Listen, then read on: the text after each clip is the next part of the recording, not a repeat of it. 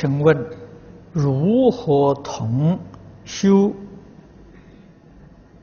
啊？如何同修们有上佛学班好不好？这个不晓得是谁问的啊？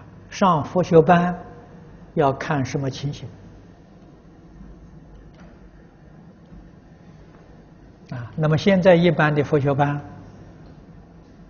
你所学到的都是一些佛学常识，啊，初学的人是可以的，啊，如果对佛学常识想多知道一些，这个对你有帮助。如果不想知道，也不妨碍，啊，佛法。贵专精的，不贵多啊！一门深入，长时熏修，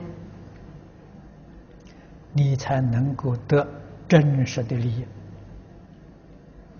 学的太多太杂啊，充其量你在社会上，人家称你是个佛学家。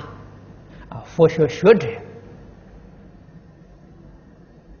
可是对于了生死、脱轮回毫不相干啊，所以你自己必须要衡量一下哪一个重要